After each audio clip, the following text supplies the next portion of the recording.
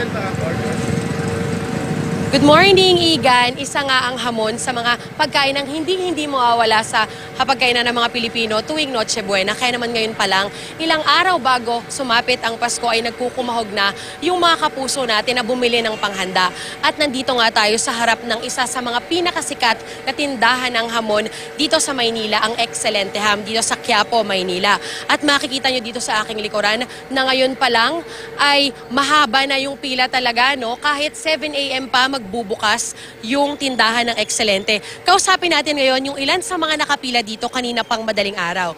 Ayan, good morning po, sir. Good morning. Good morning. Sir, ah, anong oras pa po kayo nakapila dito? 5 o'clock. Galing pa kami sa Pampanga. Yeah. Bakit po dinaya, dinayo nyo pa talaga itong Excelente? Annually, since na college pa ka- ako, nagpupunta kami rito taon-taon para bumili ng Excelente Ham. Ang Excelente Ham kasi, iba ang lasa. Ah, juicy at ah, malambot.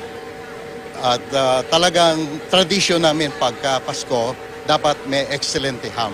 Yeah. Thank you very much po, sir. Ang layo pa po pala ng pinanggalingan nyo, no? At taon-taon yan, nagpupunta kami rito. Okay, salamat po, sir. Kausapin naman natin yung iba pang nakapila dito, no? Si ma'am naman. Ma'am, good morning po. Kayo po si? Rosana. Ma'am, ah, ayun po, kayo naman. Anong oras pa kayo nakapila dito? 5.30 po, nandito na kami. Bakit po, ma'am, pinili nyo talagang pumila ng ganong kaaga para makabili lang ng ham? Kasi sa ano pa lang, talaga tradisyon na namin na taon-taon bumibili kami ng ham, yung boss namin, para ibigay sa mga katauhan niya.